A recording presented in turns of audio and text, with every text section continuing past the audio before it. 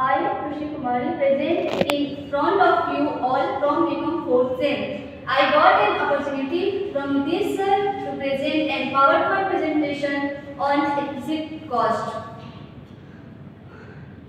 So let us discuss meaning of explicit cost, cost, meaning of explicit and cost one by one.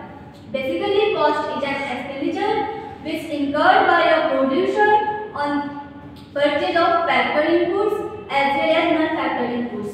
Let's come to meaning of explicit. Meaning of explicit means it means out of pocket expenditure which has gone. And now the let us discuss about the what is the meaning of explicit cost.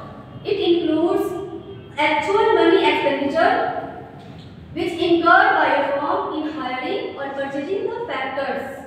It, it needs in the production process.